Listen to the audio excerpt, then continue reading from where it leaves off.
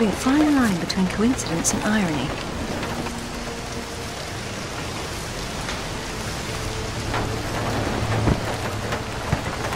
You sure about that map? Unfortunately, there was some nonsense about the discovery of the real King Arthur's tomb here years ago, soon discredited. And yet another roadside attraction was born. Well, let's see what we can see, shall we? At least it should be educational.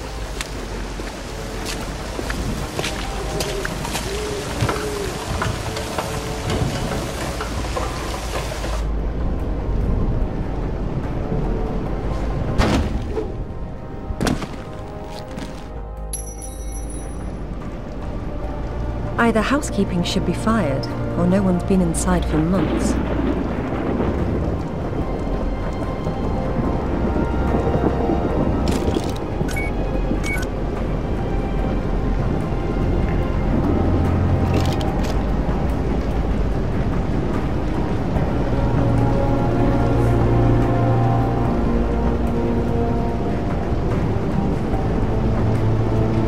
They must be electric. I'll have to find the power main. The place is locked up pretty tight on the ground floor. Probably have to try up higher.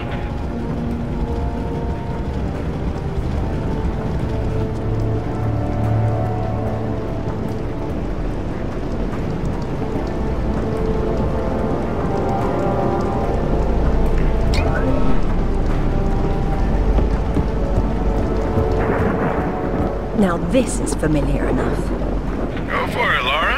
Your royalty. No King of England jokes, Alistair. I probably have to turn on the power first.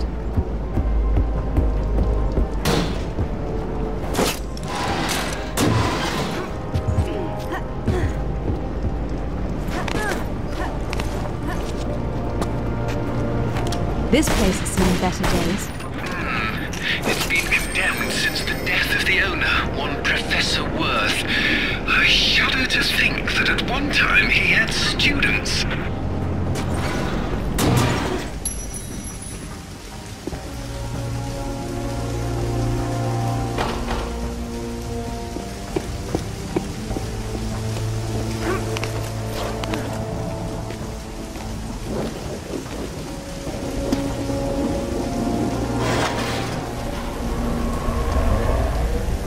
And we have power. Hey, now that the power's on, maybe you can go back and pull out Excalibur. It's not Excalibur! The the sword and the stone and Excalibur were two different bloody swords! Arthur got Excalibur after the sword and the stone broke in his battle with Pellinore! Oh, good grief, nobody gets it straight! That's because nobody cares. Boys, Sorry.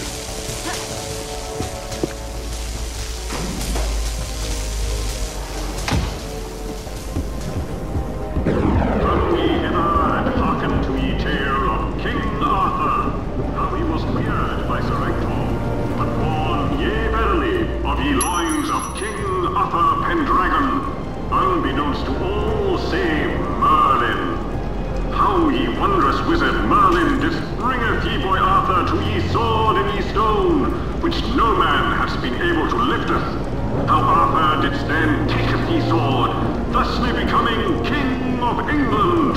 Thou too may attempteth to pull yon sword from yon stone. But wilt Merlin find thee kingly enough to enter the true King Arthur Museum?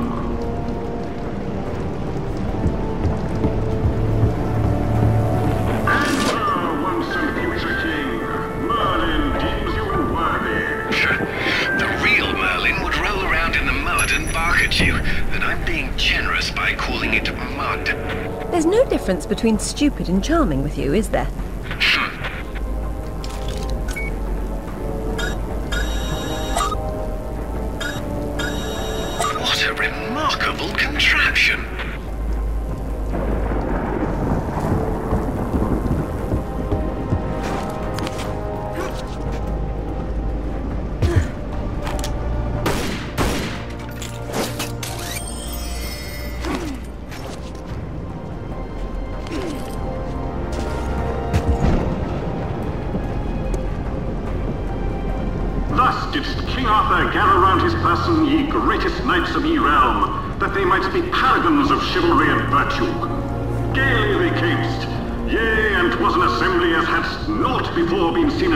And verily there was much rejoicing.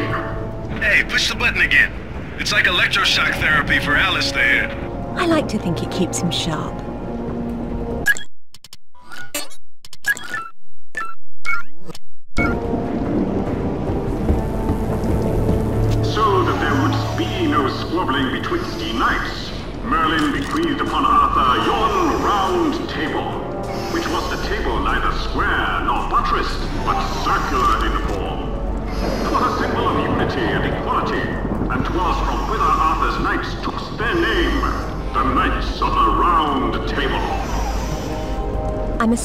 taking notes.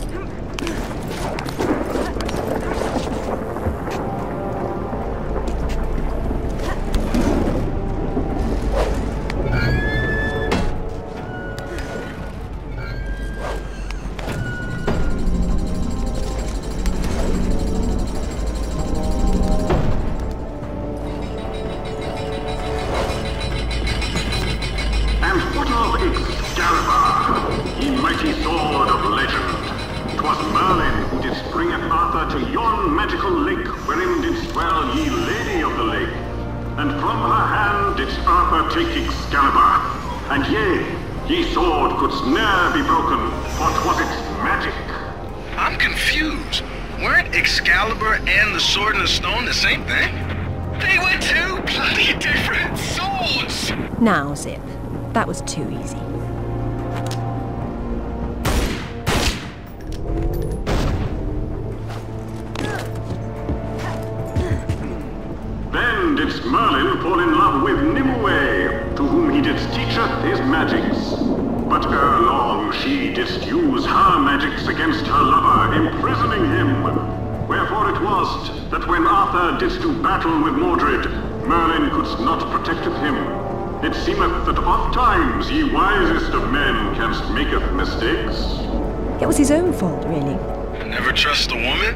don't believe in magic. For hours did Arthur and Mordred hackle upon Salisbury Plain. Arthur with Excalibur, Mordred with its scabbard. Then it was that both were disarmed, and Arthur did strike Mordred a fatal blow with ye spear of Sir Bedivere. Anon came more tragedy, for Arthur was himself mortally wounded in ye battle, and yea, yon sky did darken. There's a logical explanation for that. It's called evening. You're so literal, Alistair. Archaeology is half metaphor.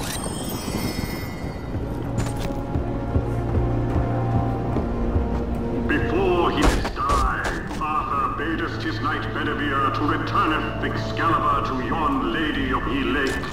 And lo, didst Arthur's body then slumber, and yea, it was borne away to Avalon said that from thither shall he someday returneth, to claimeth again his crown.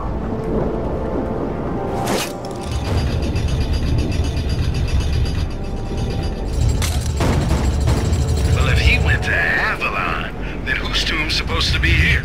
Maybe the grunting Saxon or the Roman fascist that Alistair believes the whole legend was built around. Hmm. This is where the truth behind the myth is supposed to be explained. And it's been turned into a warehouse. Fitting. There's been so little truth everywhere else. Why start here? The only factual basis behind the King Arthur myths died centuries before this place was built. Give Professor Worth some credit. If he had to close an exhibit for renovations, at least he picked the most boring one.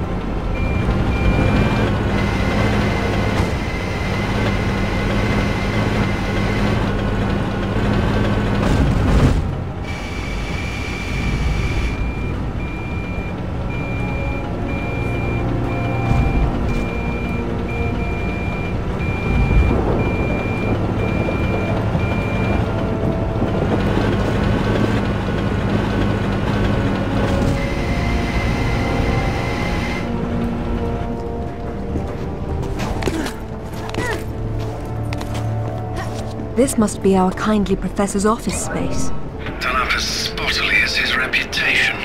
said the pot to the kettle.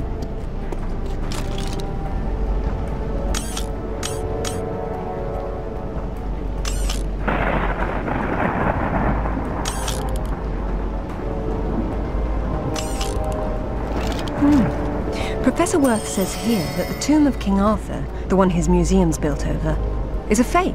No surprise there. At least he knows his museum is for tourists. But Professor Worth believed the sarcophagus was placed here by Arthur's contemporaries to lure thieves from the gravesite of the actual King Arthur. Who doesn't exist? That's where you and the Professor differ.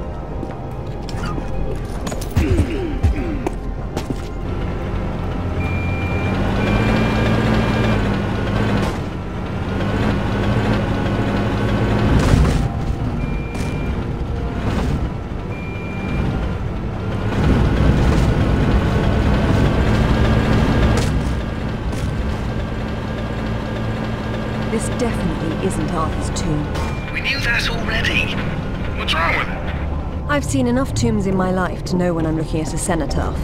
Say who? A diversion. This place is trying too hard. It's hiding something. A body? No, that's the problem. It's authentic enough for its age, but its age isn't entirely authentic. And what does that mean? She's saying that the sarcophagus is from around the 11th century, which is when the Arthurian myths were invented. Five centuries before, so it's old, but, well, not old enough. It could be anyone in here, if there's anyone at all. No, there has to be something else here. Hmm, this looks relatively fragile.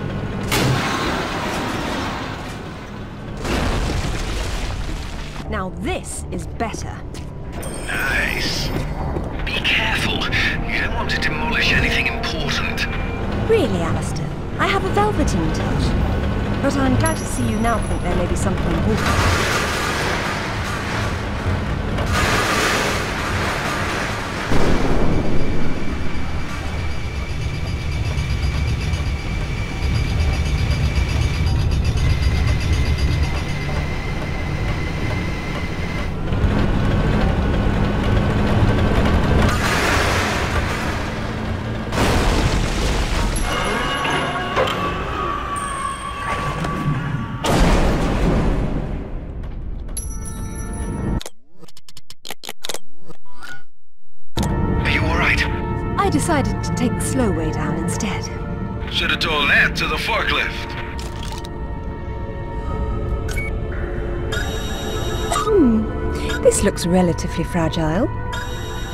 That's ready to fall apart.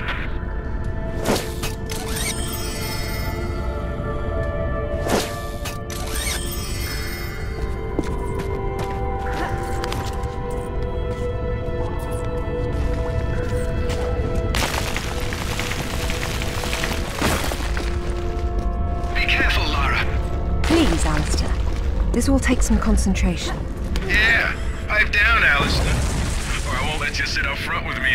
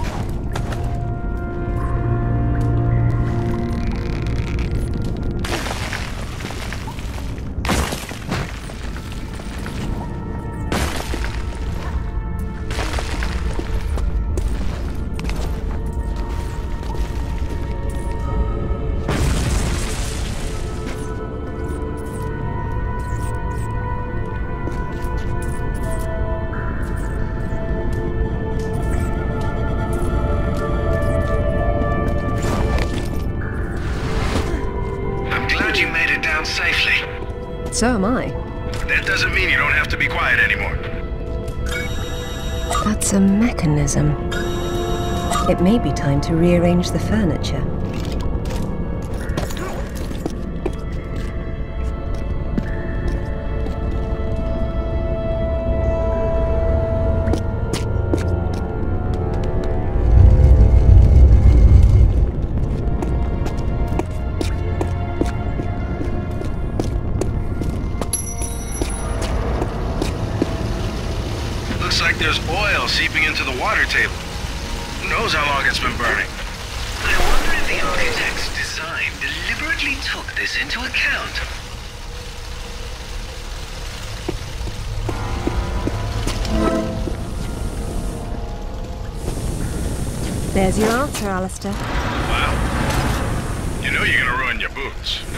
Not on the path I'll need to take.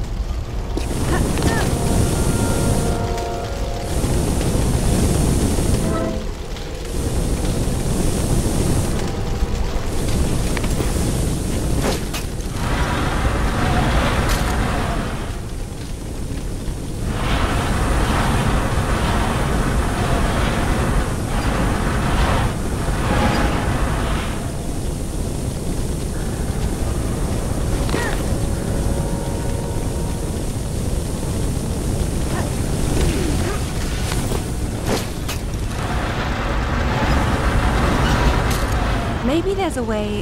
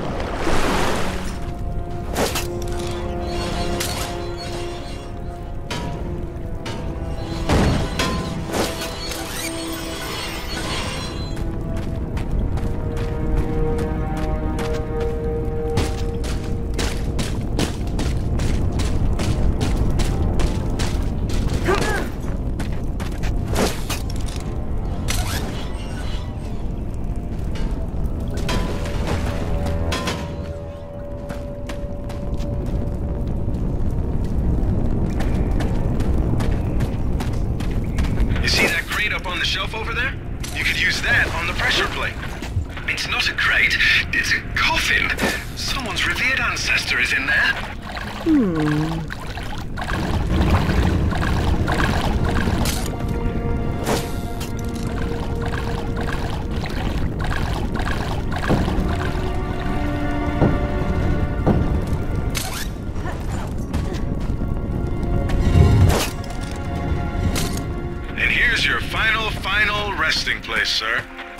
through having fun, it's time to get back to business.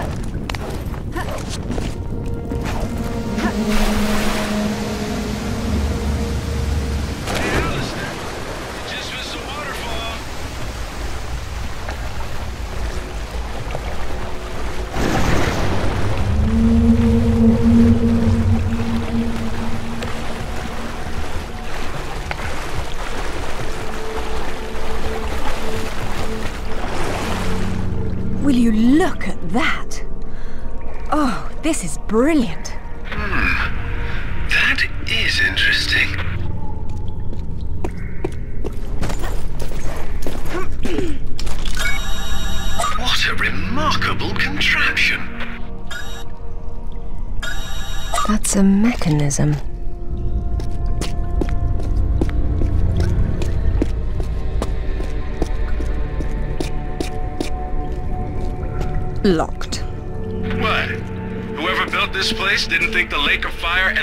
of death.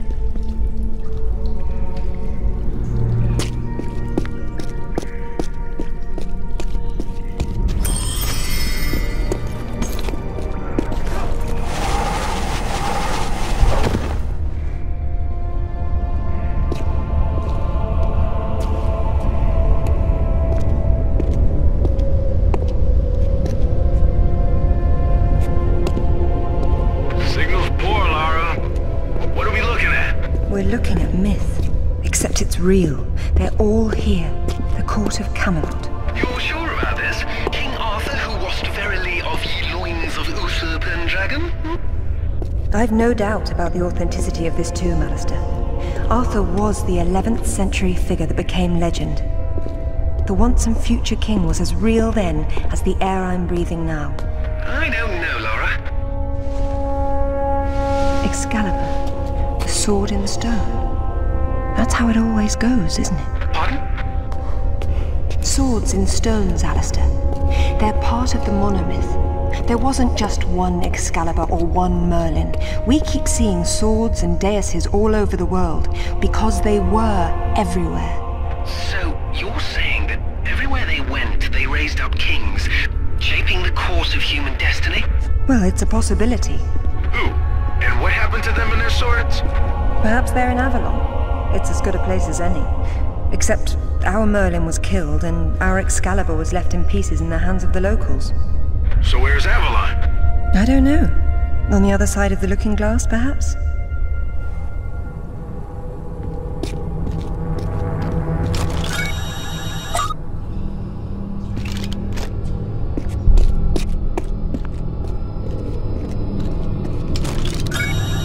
I could move that.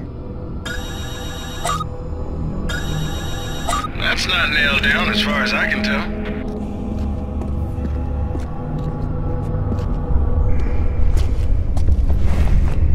It says Bedivere returned a fragment of Excalibur to Arthur after the other pieces were carried off by the knights. Where did they go? To find Avalon, perhaps. The quest for the Holy Grail. Lancelot, Galahad, Percival, and Bors. Their tombs are empty. It says this fragment was left with Arthur to help him leave this mausoleum when the time came. Perhaps it will help me instead.